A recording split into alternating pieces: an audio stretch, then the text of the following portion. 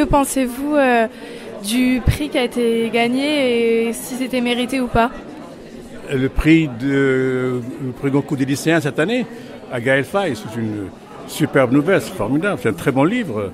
Nous on l'avait lu très tôt, hein, on l'avait retenu dans notre première liste, qui a permis d'ailleurs qu'il soit dans la liste, dans le, choix des lycéens.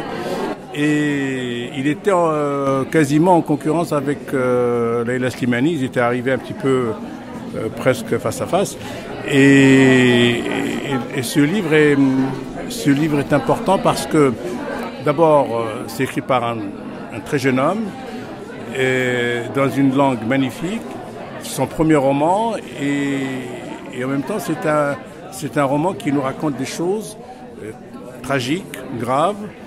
Alors, évidemment, il, a, il avait lu, il avait dit, les livres euh, sur le Rwanda euh, de, Jean Asphalt, par exemple.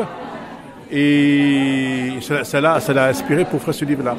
Donc c'est un excellent roman et je suis très heureux que lycéens les distinguer parce que ça va aller dans, dans des milliers, des centaines de milliers de foyers, c'est formidable. Pourquoi vous avez choisi Leila Slimani pour le concours?